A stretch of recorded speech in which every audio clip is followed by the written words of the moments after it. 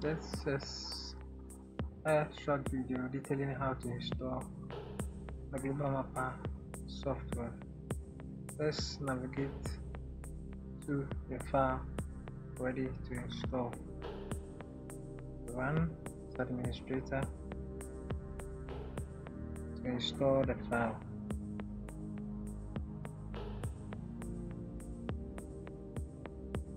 The installation wizard is displayed follow, through to the end to install oh, software.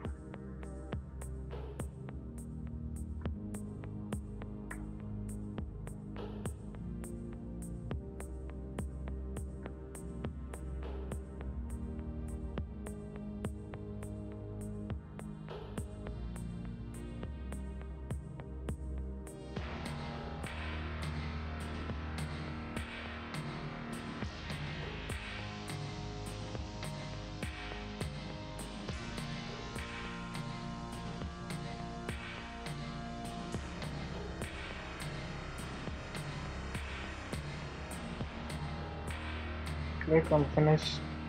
When done. In the crack folder. Navigate to the installation directory to place your crack file.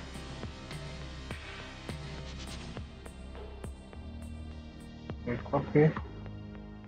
And then paste. In the installation directory. Replace with the default file complete your installation.